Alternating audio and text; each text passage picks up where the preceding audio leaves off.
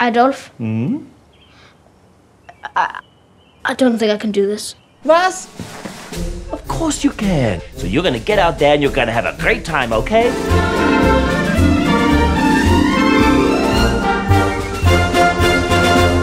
So I'm from New Zealand, I'm Māori. The half on my mother's side of the family, Russian Jews. I wanted to tell a story where it was a film set in World War II which dealt with all of the things we're used to, but really from children's perspective. Hi, Adolf. Cigarette?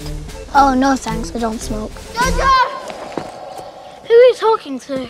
This 10 year old's getting absolutely terrible advice from an imaginary friend who is a version of Adolf Hitler. And because imaginary Adolf comes from the mind of a 10 year old, he can only know what a 10 year old knows. You imagine Hitler as a complete buffoon who really knows nothing about anything. Let's get a book and let's go. Libraries are dumb. And so this 10 year old finds this Jewish girl in their attic. And then it was this whole kind of complex thing where they couldn't tell the mother and they strike up a real friendship. Taika has a way about him. His sensibility is everything from Mel Brooks to Marx Brothers. Rob Esler, you're looking fetching as usual. Oh. I was working with Chris Hemsworth. He had just finished working with Taika on Thor and was just talking about how incredible this magical script was that Taika had written. It's such a beautiful, funny gem of a script. You two seem to be getting on well. She doesn't seem like a bad person.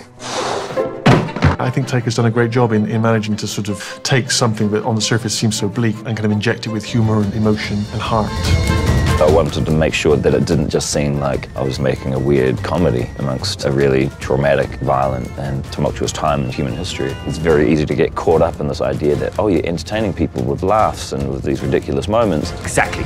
Wait, no. I just had to make sure that I wasn't letting that get the better of the story and that take over essentially what was the main message, which is we need to be more tolerant and spread more love and less hate. Nothing makes sense anymore. Yeah, I know it's definitely not a good time to be a Nazi. 二零二零年一月三日，《兔嘲男孩》。